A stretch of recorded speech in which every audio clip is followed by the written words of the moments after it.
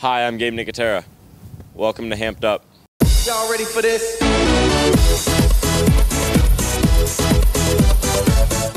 Dodgeball, a sport for those who are athletically gifted, has returned to NHS.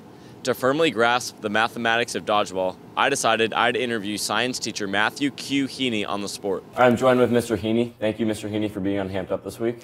Happy to be here. I guess what I'd like to ask you first is would you say the Earth is shaped more like a dodgeball or more like a piece of paper? Is the Earth shaped more like a dodgeball or a piece of paper? Um, well, today in class we were talking about time zones and the fact that it is light and dark at different points, different times in different parts of the globe, which is not something that you could have on a piece of paper. Uh, that, or if you're sitting down and you watch the sunset, if you stand up really quickly, you can see the sunset again. Both compelling pieces of evidence that the Earth is in fact closer to a dodgeball than a piece of paper. And in your years of dodgeball experience, would you say headshots should count? Oh, I think absolutely headshots could count.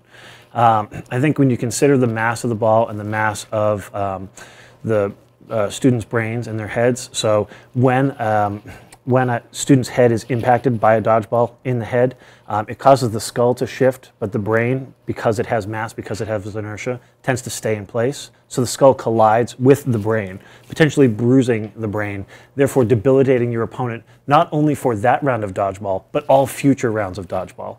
So by doing headshots, you're just really, it's, it's survival of the fittest, and you are, you know, eliminating um, the cognitive, future cognitive ability of potential opponents. So to me, it's, well, a no-brainer.